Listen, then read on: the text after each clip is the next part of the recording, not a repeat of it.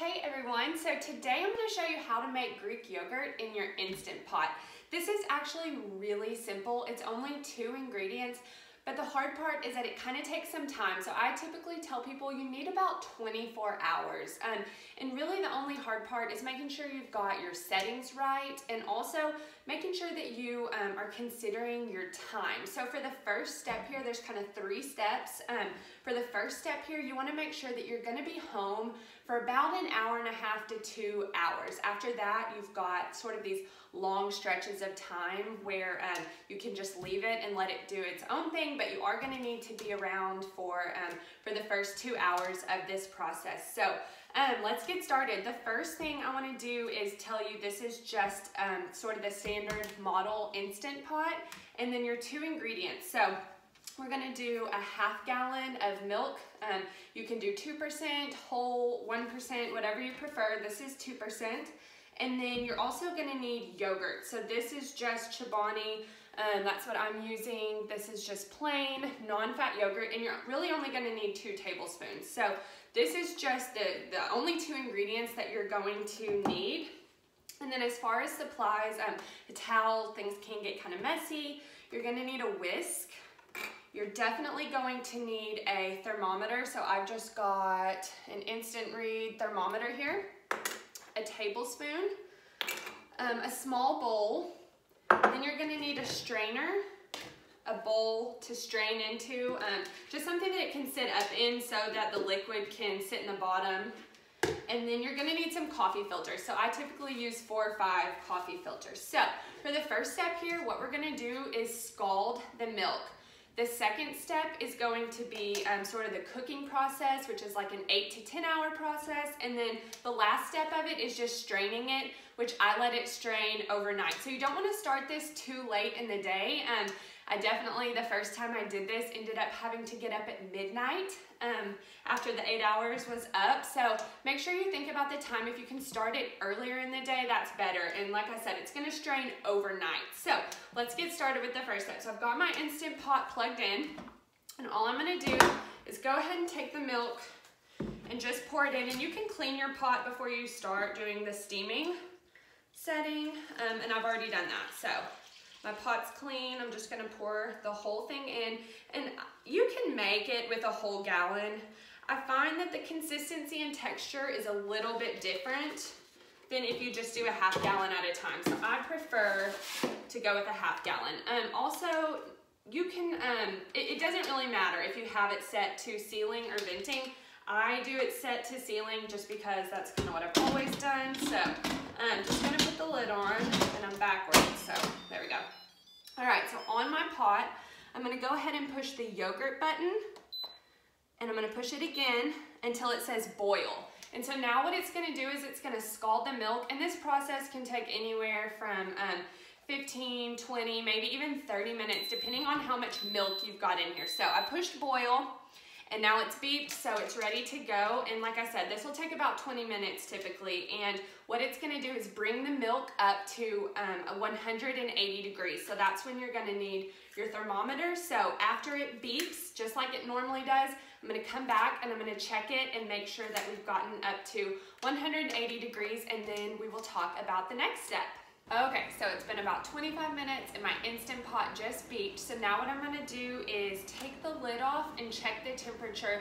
Remember, we wanna make sure that this uh, the milk is at about 180 degrees. So um, you don't really have to worry about there being too much um, pressure and changing it to venting or anything like that, but there will be a little suction. So I'm just gonna take the lid off, Oop, little suction. And um, it can be kind of hot, so you might wanna use pot holders and you're just gonna pull it out.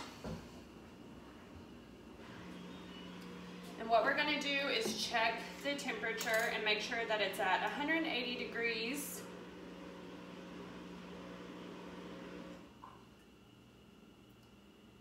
And at, least around 180 degrees is good.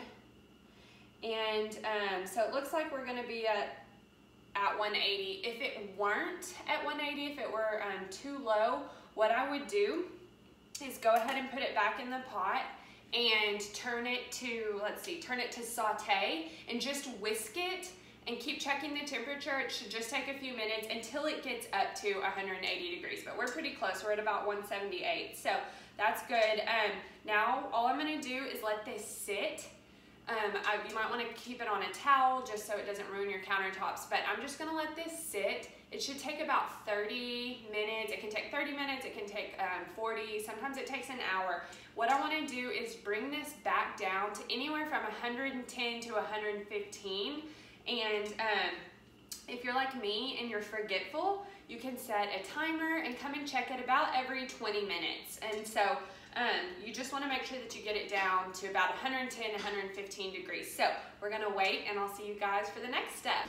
Okay, so it's been about 40, almost 45 minutes and this has cooled down. I've checked it and we're sitting at about 112 degrees, so that's good. We wanna be between 110 and 115. So now what I'm gonna do is go ahead and put the pot back in. And what I'm gonna do is go ahead and get two tablespoons of my starter yogurt here. So this is just that plain non-fat yogurt and it, you know, about two tablespoons. It doesn't have to be perfect. The more you use, the more tart it's gonna be. So I'm gonna get about two and just put them straight into the bowl. And the next thing I'm gonna do is just take some of the milk and go ahead and put it into the bowl with the yogurt.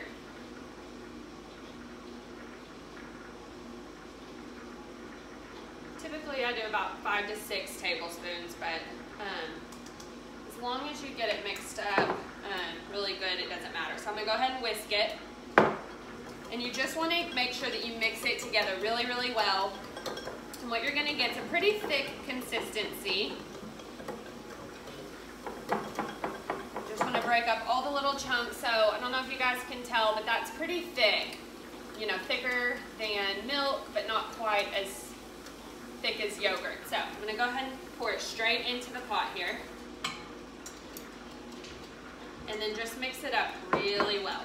So this next step is where um, you're gonna have some time. So you can go eight to 10 hours for the next step. Um, eight hours if you want a little bit of a less tart yogurt, and then nine to 10 hours, it's gonna be a little tangier. So I typically like to go eight hours. That's what we like in our family. So I'm just gonna put my lid on now. I've mixed that up really, really well.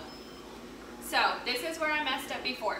What you wanna do is you're gonna push your yogurt button until you get to normal, okay? So I've already got mine set to eight hours. Um, what you would do, let's see. So yeah, I'm already set to eight hours. So now this is gonna uh, go ahead and cook for eight hours and it's gonna turn into yogurt. What it's gonna do is count up to eight hours um, instead of, yeah, instead of counting down. You wanna make sure you've got your less, your normal, and your more down here.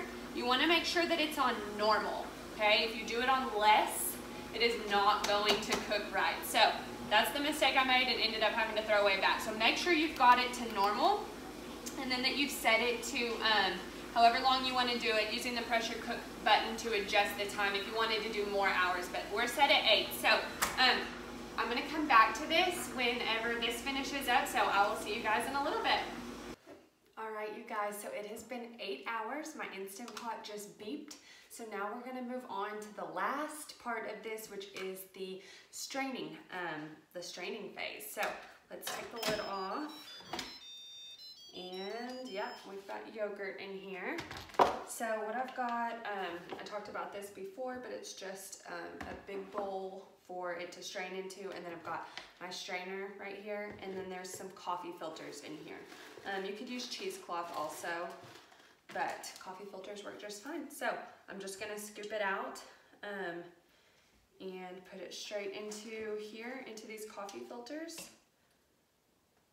And then this is gonna sit overnight in my refrigerator. And some people just like to go ahead and um, you know, mix this up the way it is, but I like my Greek yogurt to be um, a little bit thicker. So I'm gonna strain some of this out and what we're doing is we're separating the whey from the yogurt. And so you're gonna be left with um, a yellow liquid. That's gonna be the whey and you can just um, you can just get rid of it. I know some people use it for baking and things like that, but I just empty it out um, the next day. So now that I've got that going, I just go ahead and pour the rest straight in.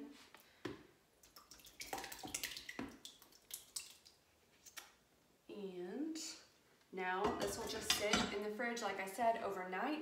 And then um, I'll show you guys the final product tomorrow. All right, guys, so we are in the final stage of this homemade Greek yogurt process. My Greek yogurt has sat in the refrigerator overnight and strained. So you can actually see it's pretty thick. And then in the bowl, we've got the liquid that's drained out of the Greek yogurt. So this is the whey. So all I'm gonna do now is transfer this, uh, the Greek yogurt into a container so that I can keep it in the fridge. And some people like to keep their Greek yogurt pretty thick. What I'm gonna do is scoop some of the whey into my container. Um, some of the liquid to mix it up. I like my Greek yogurt thick, but I like it to have a little bit of creaminess and um, liquid. So you can see it's pretty thick. And so now all I'm gonna do get a few spoonfuls, pretty big spoonfuls here, ooh, making a mess, of this whey. And then I'm just gonna combine it. And that'll give it a little bit more of a creamier texture. But if you like yours um, nice and thick, you don't have to add any. And if you like yours really creamy, you can add even more. So that is the last process. Now all that's left is to eat this. So I hope you guys enjoyed this video. Leave me a comment and let me know if you try it. And thanks for watching.